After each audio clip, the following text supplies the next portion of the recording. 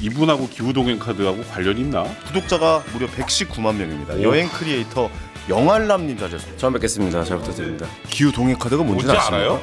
그, 그 아예 모르는 건 아니, 아니었, 아니었고요. 예. 어, 영알남님께 기후 동행 카드가 어떤 건지 좀 설명 한번 해주시겠어요? 기후동행 카드는 버스, 지하철 또 따릉이까지 무제한으로 한 달에 쓸 수 있거든요. 지금 기후동행 카드 있어요? 없습니다. 아, 여기 왜 나온 나오면 거야 도대체 오늘 아, 왜 나온 나오면 거야? 주실 줄 알고.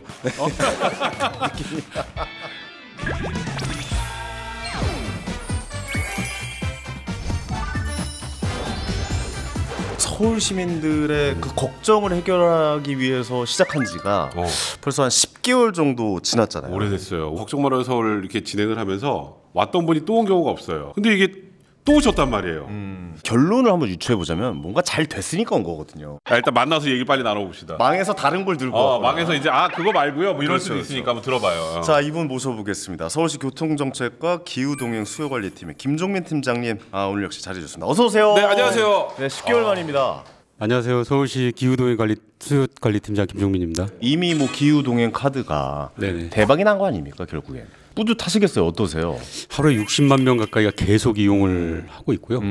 그걸 볼 때마다 또 뿌듯합니다. 처음에 들고 나서 이게 잘 될까 안 될까 막 걱정 많이 하셨는데 네네네. 이제 어느 정도 잘 된 게 확인돼서 나오셔서 그런지 오늘 표정이 한결 여우로우시네요. 그러니까요. 맞습니다. 네.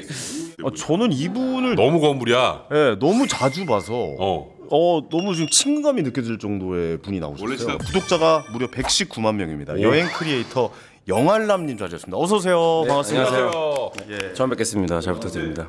왜 이름이 영알남이에요? 뭐 영일만도 아니고 영알남? 아, 이형 진짜 모르네. 아 원래 시작이 영어 알려주는 남자라고 해서 영어 교육 컨텐츠를 시작으로 유튜브를 네. 했었어요. 그래서 영알남이라고 지었었고, 네. 근데 이제 하다 보니까 여행 컨텐츠가 너무 잘 돼가지고 여행 쪽으로 조금 더 집중을 하고 있는 네, 영어 크리에이터라고 아직까지 주장하고 싶은 영알남입니다. 아 근데 나 되게 궁금한 게 해외 많이 다니신 분인데 이분하고 기후 동행 카드하고 관련 있나? 기후 동행 카드가 뭔지, 뭔지? 알아요?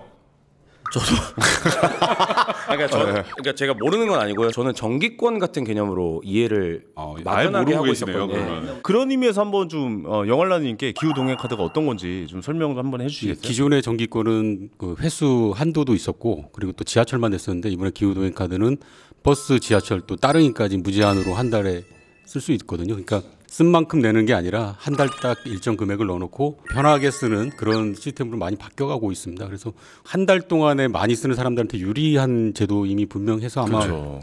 영알람께서 해외를 또 자주 나가시니까 그렇죠. 모르실 가능성이 굉장히 높은데 음. 이런 분들을 위해서 단기권도 출시를 했습니다. 아 단기권도 있습니까? 영알람님은 어때요? 해외에서도 이런 기후 동행 카드 비슷한 제도들이 좀 있는 걸 보신 적 있으세요? 일본의 간사이 레일 패스. 아, 뭐 큐슈 패스 막 이런 거 있죠. 네, 근데 단점이 있어요. 항상 그런 뭐 일본도 마찬가지고 유럽은 더더욱 그렇고 어. 비싸요. 아, 상당히 비싸서 이걸 머리를 항상 계산을 되게 많이 해야 돼요. 일주일 이상 막, 막 20번씩 타야 된다. 이런 계산들 계산법이 들어갈 정도로 되게 비쌌어요. 그러니까 일본은 제가 정확하게 기억은 못하지만 6만 원 정도 돈이 3일 동안. 아. 네. 많이 안 이용하면 오히려 손해일 수도 있겠네요. 네, 그렇죠, 그렇죠. 사놓으면은 무료니까 이득 보는 거다라고 생각하고 그냥 결제를 하면은 상당히 많은 돈이 나가는 그런 일들이 벌어지기 때문에 지금 일본 패스가 6만 원 말씀하셨는데 우린 3일권이 만 원입니다. 아, 그 어떻게 이렇게 쌀 수가 있어요? 그렇죠. 이렇게 싸게 하는 이유가 좀 있습니까? 확실한 메리트를 줘야 뭐 대중교통을 좀 더 많이 이용하고 그렇지. 어떤 획기적인 변화가 없이는 대중교통 이용 활성화를 하기가 사실 쉽지는 않습니다. 그렇죠. 이게 사람들이 많이 이용하려면 무조건 싸야 됩니다. 기후동행 카드라는 이름이 원래 운전하시는 분들이 대중교통으로 많이 넘어왔으면 좋겠다는 취지로 만들어져서 기후동행 카드잖아요. 네.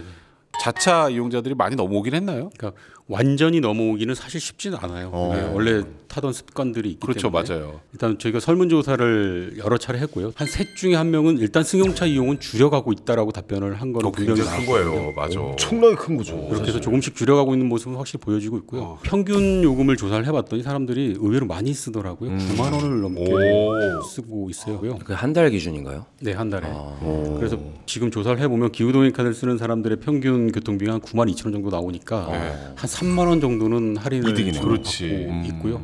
그 돈으로 한 뭐 70%는 외식도 했다, 뭐 쇼핑도 했다 이렇게 좋아지죠. 나오면서 이렇게 이런 얘기 쇼핑이요? 네, 뭘 샀을까요?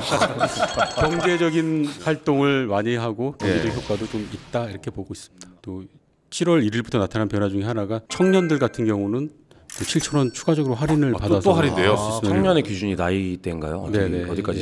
마음만 청년 이런 거 말고. 84년생부터 어, 84년생 5년생까지입니다. 청년 아니네요, 저. 어떻게 되세요? 지금 저 91년생입니다. 아, 여기 상당히 기분이. 좋습니다. 예. 표정이 좋아지더라고 우리랑 다르게.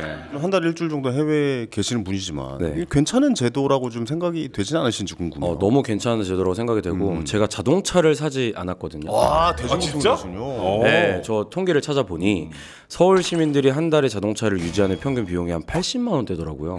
그렇게 많이 드나요? 그래서 제가 이걸 또 역으로 또 바꿔 생각을 해봤어요. 택시를 매일 탄다면 얼마가 나올 거라 생각했더니 한 30만 원 정도 맞아요. 돈이 소비가 되더라고요. 그래서 차를 사면은 괜히 내가 운전도 해야 되는 그 인건비도 있을 것이고 50만 원을 더 쓰는 거잖아요. 그런 경제적인 논리로 저는 차를 사지 않은 건데 기호동행 카드 얘기를 들으니까 할인도 된다고 하잖아요. 그러니까 저만 되는 거잖아요 지금 여기서.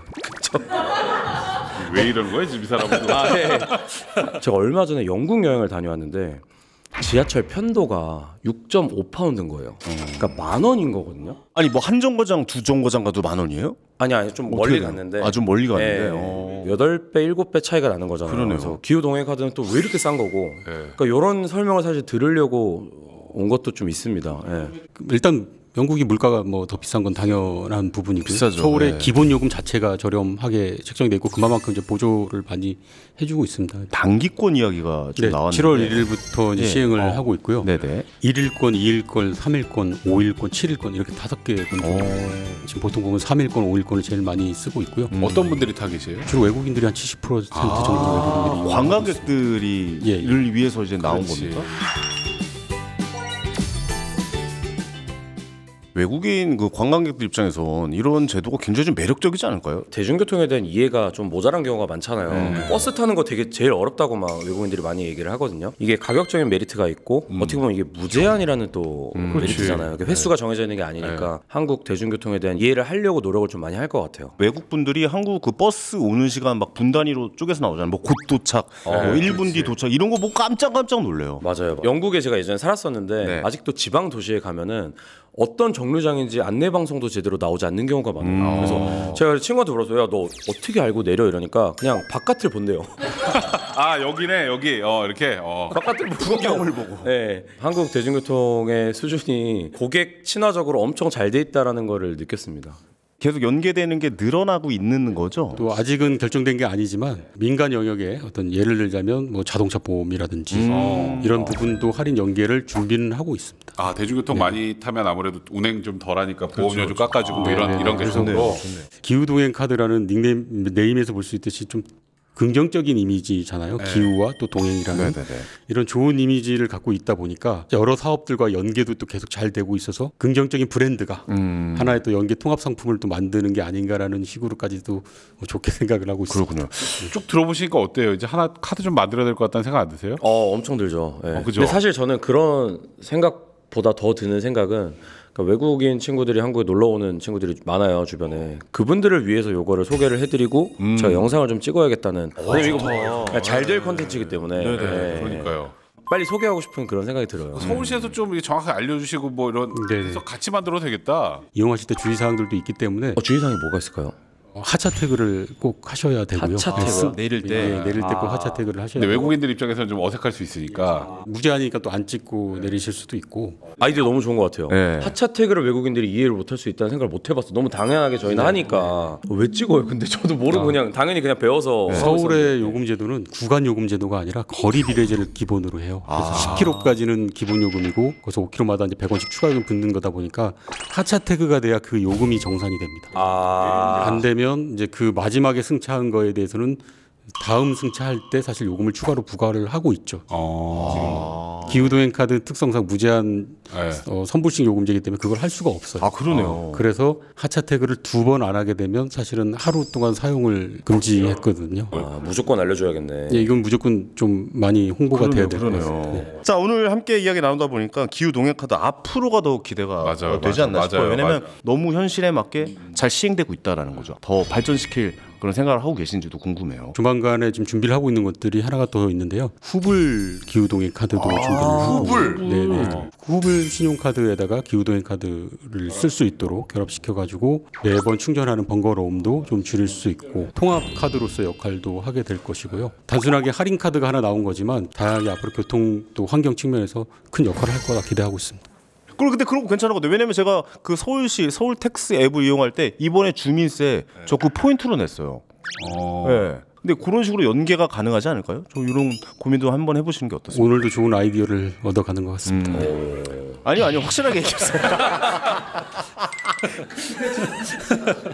네, 우리 마지막으로 또 오늘 뭐 얘기 한마디 해주죠. 1년 전쯤에 이 자리에 와가지고 그때는 기후동행 카드를 세상에 처음 발표하고 얼마 되지 않았던 시, 시기였고 자세하게 설명할 수 있는 첫 자리였었어요.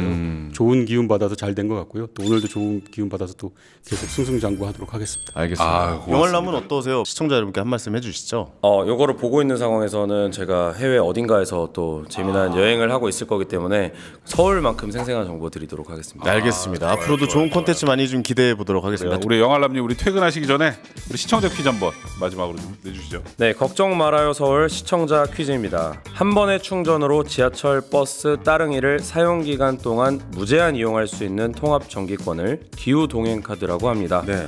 다음 보기 중 기후 동행 카드로 할인 받을 수 없는 것은 무엇일까요? 우리가 방금 얘기했던 네. 1번 비행기, 2번 버스, 3번 지하철, 4번 따릉이. 네, 우리 정답 잘 찾아주시고요. 우리 커피 쿠폰도 정답 맞추시고 받아가시길 바라겠습니다. 걱정 마요 서울은 여러분의 소중한 의견들로 만들어집니다. 유튜브 댓글과 서울 골뱅이 블루콘 TV닷컴으로 여러분의 다양한 의견을 보내주시기 바랍니다. 저희는 다음 시간에 다시 찾아뵙겠습니다. 여러분 감사합니다. 감사합니다.